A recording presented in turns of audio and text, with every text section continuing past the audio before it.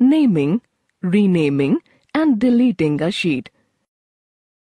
Naming a sheet. To name a sheet, follow the given steps. Just double-click the Sheet tab that appears below the worksheet. The Sheet tab appears in an editable mode. Write an appropriate name of the sheet and click on the worksheet. Renaming a sheet. To rename a sheet, follow the given steps. Right-click on the Sheet tab that is to be renamed. A menu appears. Click Rename option. An editable mode of the Sheet tab appears. Write an appropriate name and click on the worksheet. The worksheet will be renamed. Changing the color of Sheet tab.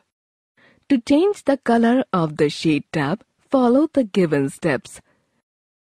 Right-click on the Sheet tab that is to be colored. A menu appears. Click Tab Color option.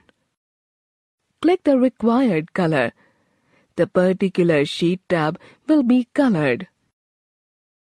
Deleting a sheet. To delete a sheet, follow the given steps. Right-click on the Sheet tab that is to be deleted. A menu appears. Click Delete option. The particular sheet will be deleted.